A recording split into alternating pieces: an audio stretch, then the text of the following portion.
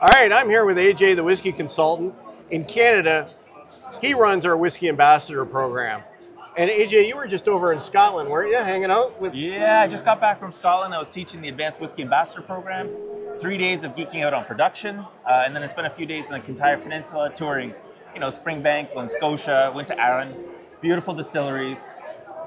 Great to be back though here at Spirit of Toronto, Yeah. and, and it's really great. And I just I just jumped back into my my next auction at Iron Gate Auctions, so our biggest spirits auction of the year. Uh, those have been amazing, by the way. You know- You- You've had some amazing collections there. You know what? It's not me. It's the Canadians who bring. They have great whiskey here, and they're bringing it to other people. So my job is to gentleman has it on connect the people with the spirit, and it's just like Spirit of Toronto. We're connecting people with the spirit. So it's a wonderful gig, buddy. Right on, man. Yeah. Well, thank you.